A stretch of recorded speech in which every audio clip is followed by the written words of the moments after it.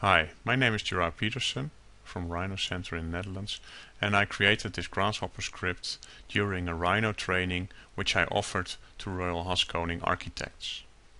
This design is roughly based on the Royal Haskoning bridge design which is already constructed in the Netherlands and I'd like to show them the flexibility of Grasshopper by creating a Grasshopper script. In this demonstration I like to give you an overview of the input and variables uh, which enables the script to create this bridge. Furthermore, you can download this script for free and play with it yourself. Before I show you over here the variables of the script, I switch off some detail geometry and now I can change the size and shape of the bridge. So the overall length of the bridge deck I can modify over here with a slider.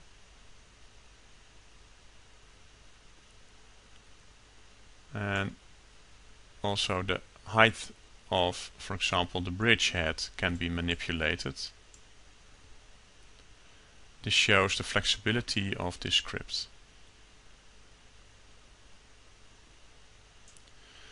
The height of the bridge deck can be adjusted and also the width of the bridge deck. These are only a few parameters which were scripted. Uh, some nice detail is the curved pipe over here and I can manipulate the shape of it with this 2D slider and if I'm moving this slider up and down you see the shape is changing.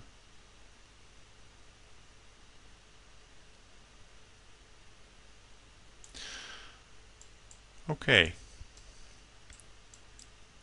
Another nice detail is the diameter of the pipe which I can adjust with this slider and it's so easy.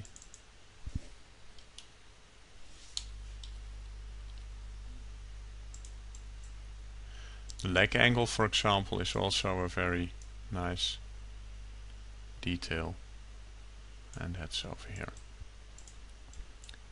If the overall dimensions are correct I can switch on the detail geometry and that's the cross beams over here.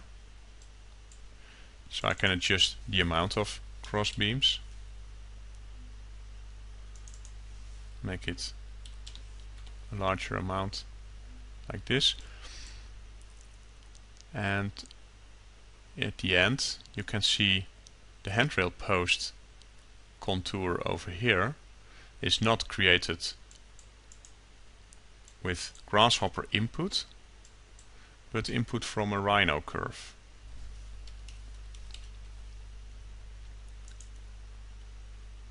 As you can see over here this is a curve which defines which is input for the shape of the handrail post. And if I modify the shape you can see how it affects the shape of the end result. Like this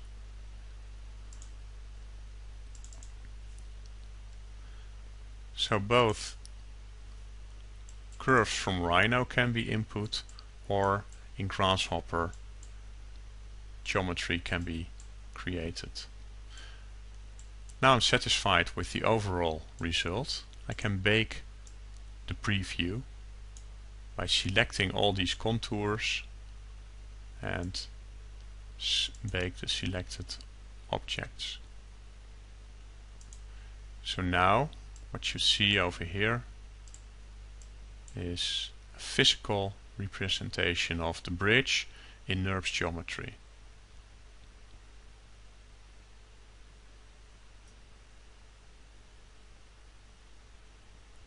Okay, So that's it for now.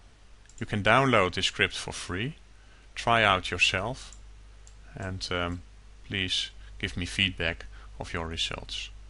Thank you. Bye bye.